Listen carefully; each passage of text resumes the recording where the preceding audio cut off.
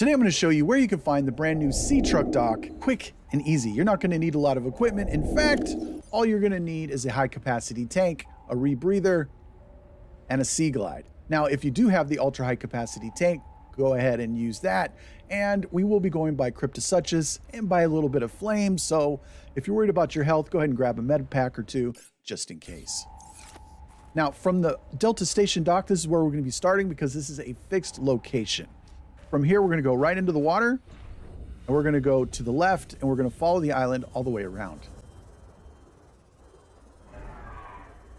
Now, this groove right here is empty. You can actually see the bottom. We're bypassing this, and what we're looking for is the one that's spewing fire.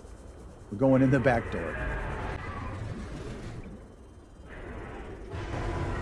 Now, this one right here does not have fire. We're going to continue on, and it's the third one that will have fire. This is it right here. You can see it. Let's go ahead and top off our oxygen. And down we go.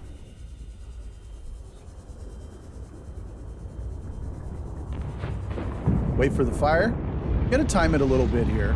It is possible to use your Seatruck if you have your Seatruck, and you won't even need a depth module for this because you can stay below above 150 meters. Now, once you come in here, right here to the center, just like I did, you turn around and you can see this hole right here.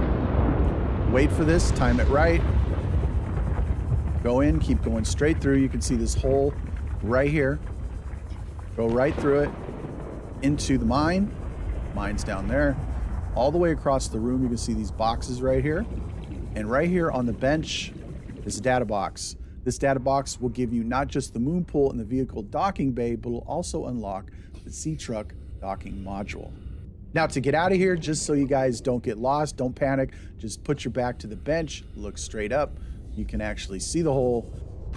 Now that you got your Seatruck and your new brand new Seatruck docking module, the next thing you'll need to grab is the Seatruck fabrication module.